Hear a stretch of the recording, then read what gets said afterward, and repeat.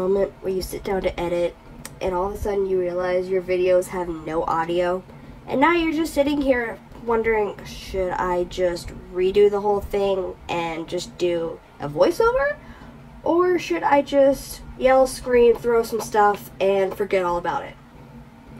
As much as I want to do the second option, here we go again. I know it's been a long hot minute since I've posted anything. Honestly, life has just gotten away from me. Between work, school, relationship issues, trying to develop my artsy side a little bit more, I've just had a hard time motivating myself to research topics and then actually sit down in front of a camera and record. Or, you know, in this case, record it, find out everything was broken, get upset, and then re record it. I can't tell you how many half research topics I have on my computer right now. But all that aside, here I am, backing in with another topic for you. I'm getting over a really bad cold, so please excuse the sickly voice. Okay, let's do this. Unless you've been hiding under a rock for the last hundred years, you've at least heard of the Russian royal family and their untimely demise. Even if you haven't heard of the family, there is definitely one name you have heard of. Rather than put the entire family's history in one video, here's what we're going to do. We're going to start with Nicholas, who is the father. Then we're going to move on to his wife. Then we'll move on to the daughters, each individually. And then finally their son. And once we've dissected everyone's history up until the Russian Revolution and the overthrow of the monarchy, we'll put the family back together and finish out their story at the same time. Make sure you hit that subscribe button down below so you can be notified every time I upload a new video. And also as a side note, there's going to be a lot of Russian words in these videos, and I don't speak Russian, so I'm sorry if I mispronounce anything. Nicholas Alexandrovich Romanov was born on May 6 of 1868 near St. Petersburg to Tsarevich Alexander Alexandrovich Romanov and Marie Sophie Frederick Dagmar, or the Dagmar of Denmark. He was their firstborn of six children, putting him second in line for the position of Tsar behind his father, as stated by the Pauline laws implemented by Tsar Paul I. Priority in the order of succession to the Russian throne belonged to male members of the Romanov dynasty, however distantly related to the Tsar, so long as any remained alive basically what that says is it goes from male to male to male. And it starts with whoever is the most closely related to whoever is the current Tsar. So, you know, Tsar would go to a son, but if he doesn't have a son, it would go to his brother, and then so on and so on. His childhood was one with a nurturing family environment, and his father had a strong influence on Nicholas's idea of conservatism, religious values, and belief in autocracy. It was thought by the Romanov family that they had the God given right to rule over Russia, and no one could take that power away from them. Nicholas was educated through private tutors, even through high ranking Russian officials. He was taught languages, history, science, horsemanship, shooting, and dancing. He excelled most in history and foreign languages. Unfortunately for him, he was not tutored on how to succeed in being a monarch. His father always assumed that he would be ruling for many decades, and he'd had plenty of time to teach his son how to rule. Nicholas also didn't have the temperament nor the proper upbringing to become a successful Tsar. While he did have a great personal charm, he was naturally timid and he preferred to stay away from the public's eye. In 1881, when he was 13 years old, his grandfather, Tsar Alexander II, was assassinated by a revolutionary bomber. Nicholas watched in horror as his maimed grandfather was brought back to the palace and died. With his passing, Nicholas's father became Tsar Alexander III of Russia. Nicholas took the title of Tsarevich. Nicholas went to his uncle Sergei's wedding in 1884 in St. Petersburg when he was 16. His uncle was marrying Princess Elizabeth of Hesse and by Rhine. While there, he noticed Elizabeth's 12 year old sister. They met on various occasions in the years following, falling madly in love with each other. Nicholas's journals even document his desires to one day marry her. At age 19, Nicholas decides to join the army. He joined an exclusive regiment as well as the horse artillery unit. Though as Tsarevich, he didn't participate in serious military activities. He enjoyed his time in the military and rose through the ranks, eventually becoming colonel. Nicholas lived a carefree lifestyle in which he took advantage of his freedom by attending parties and balls. There were very few responsibilities weighing him down. In 1890, the Tsar and Tsarina encouraged Nicholas to take his brother with him on a royal grand tour around the world. They left Russia traveling by steamship and train, visiting the Middle East, India, China, and Japan. They were in Japan in 1891 when there was an assassination attempt on Nicholas's life. A man lunged at the Tsarevich and swung a sword at his head. While his motive was never determined, Nicholas only suffered minor wounds. His father demanded that the brothers return home immediately. By his mid 20s, Nicholas was expected to find a wife. He had been dating a Russian ballerina whom he left to pursue a more suitable option. He then began to date Alexandra of Hesse and proposed to her in April of 1894, the same girl he met at his uncle's wedding. She did not agree right away, but a day later said yes. The Romanov family was very unhappy with the relationship. They did not like that there would be a German woman in line to be a Tsarina. Despite their protests, Nicholas and Alexandra were genuinely in love, and it, that was very rare for royal betrothals. They planned to marry the next year. However, disaster would strike and throw a wrench in their plans. Tsar Alexander III fell ill with a disease that caused the kidneys to become inflamed. On October 20th of 1894, the Tsar died, leaving his 26-year-old son to inherit the throne. Nicholas was not ready to become Tsar. He struggled to keep up with the duties expected of him, including planning his father's funeral. He received much criticism for all sides as the funeral took place. He did not feel like he could fill the large shoes left by his father. He was poorly trained in the states of affair, and he was in mourning. He even told a friend, I'm not prepared to be Tsar. I never wanted to become one, and I know nothing of the business in ruling. Nicholas and Alexandra decided to wed now rather than wait.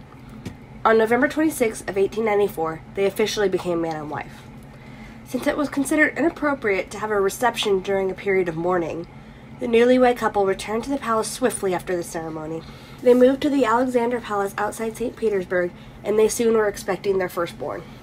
On November 3, 1895, Grand Duchess Olga Romanov was born. Nicholas's coronation was held on May 26, 1896, at the Kremlin. A year and a half after his father's death, he became Tsar Nicholas II. The coronation went off without accident, and they declared that there would be nationwide three-day celebration. There is a celebration held the day after his coronation near Moscow for the common people. Nearly a 100,000 were in attendance. Gifts were to be handed out for those in attendance. They were expected to receive a painted aluminum cup with the monogram of the new Tsar and Tsarina, a half pound of sausage, a rolled fruit cake, a stamped cake, and a bag of sweets and nuts. There are also 20 mobile pubs serving free beer and wine. And you have to remember at this point, everyone in Russia was starving there just wasn't enough food for everyone, or they were too poor to afford food. So for them to receive sausage and cakes and sweets, it was a very big deal. Rumors started circulating early in the morning that there weren't going to be enough gifts to go around, and that the stewards were hoarding the gifts for themselves. Mass insanity broke out, and an eyewitness accounts what happened. The mob jumped up as a single man and threw itself forward with incredible speed as though it were running away from fire. The rear rows pushed at the front. People fell and were trampled. Everyone lost the ability to feel that they were walking on living bodies as stones or logs. It lasted only 10 to 15 minutes. By the time the mob woke up, it was too late. 1,389 people were killed in the stampede, and another 1,300 were injured. While Nicholas wanted to mourn for his fallen people, he and the Tsarina had an engagement to attend a ball with the French ambassador. According to 19th century governing behavior, the ambassador was of equal importance as the ruler of France. It would have been rude to refuse, and in the state of the current affairs, it also could have been dangerous and meant war. This gave the people of Russia a bad impression of the new Tsar and Tsarina, accusing them of being heartless. The event forever gave Nicholas the name Nicholas the Bloody. The following events were canceled to show remorse for those who had fallen. Nicholas and Alexandra visited the hospitals where the wounded lay, and he personally gave each victim's family a thousand rubles. At the time, the average yearly salary was only around uh, 328 rubles. Two years later, in 1897, Alexandra gave birth to their second daughter, the Grand Duchess Tatiana. Another two years passed before their third daughter, Grand Duchess Maria, was born. While they were extremely excited for her birth, the Romanov family was disappointed that she was not a son. In 1901, Alexandra gave birth once again to a daughter, Grand Duchess Anastasia. The family was growing impatient that there still had not been a son born yet to become heir. Finally, on July 30th, 1904, their only son, Tsarevich Alexei, was born. Celebration broke out across the country. Although, much to his mother's dismay, he was born with hemophilia. What hemophilia is, if you don't know, is the blood isn't able to clot. So let's say that Alexei had fallen down and cut his arm. Normal people, when that happens, they bleed, but then their blood clots, and that's how you know you stop bleeding. With people who have hemophilia, they aren't able to clot and stop bleeding, so they will continue to bleed. So, especially in this time, any small wound could be fatal. While they kept it secret from the world, Alexei's condition brought the close family even closer. The family often kept to themselves at the palace and only ventured out for formal events. Early in his rule, Nicholas's main goal was to maintain the status quo Russia had with Europe, not conquer new territory. Nicholas had kept many of his father's advisors on, including Sergei Witte, the Minister of Finance. Under his influence, industry grew rapidly in Russia, and he encouraged the construction of the Trans Siberian Railroad in 1891. The railroad would connect Russia to the Pacific coast. Though the resurgence of Russia in the region created a worried Japan. In 1904, Japan attacked Russia. Nicholas thought that the attack was no more than the bite of a flea. He was extremely confident in Russia's ability to win. By December of 1904, Russia had suffered a humiliating defeat and had to surrender Port Arthur. By the spring, his fleet was decimated, and by summer, he had entered peace negotiations. Though, by this point in his rule, he had much more important matters to worry about. On January 9, 1905, there was a large peaceful protest in St. Petersburg calling for better working conditions, political change, and representation. Despite the peaceful atmosphere, troops opened fire on the crowd, killing more than a thousand civilians. Following Bloody Sunday, the workers throughout the country went on strike and peasants voiced their discontent. There were more than 3,000 instances of peasant unrest that required troop involvement. Nicholas was confused as to what was going on. It was his God given right to rule over Russia and pass his patrimony down to his heir. He didn't want to give up any power, and he tried to enforce this by putting the revolts down by force. When his uncle, the Grand Duke Sergei Alexandrovich, was assassinated in February, Nicholas realized the gravity of the situation. In 1906, Peter Stolypin was elected to be the prime minister. He wanted to make many social reforms, but Nicholas didn't want to hear it. Under pressure, Nicholas created an elected legislature called the Duma, although before their first session, he tried to limit the power that it had to be able to keep as much power for himself as he could. He continued to resist reform and act as an autocrat. This idea was reinforced by the government's ability to put rebellions down across the country by force. The 300 year celebration of the Romanov dynasty took place in 1913. Nicholas desperately wanted to reclaim the power that had been held by his ancestors.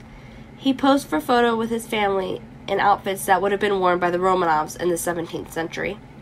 World War I broke out in 1914.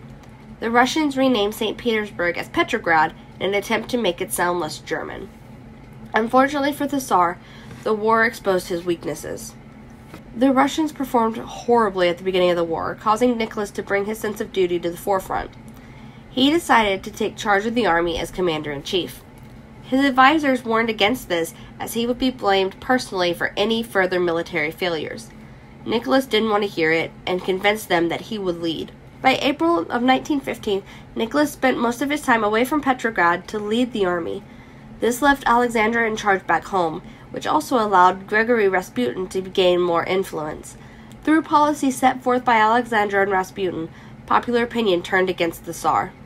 Riots broke out across Petrograd by February of 1917. No part of society was supportive of the royal family. Nicholas had been at headquarters 400 miles from the capital, but was unable to return to his family by train.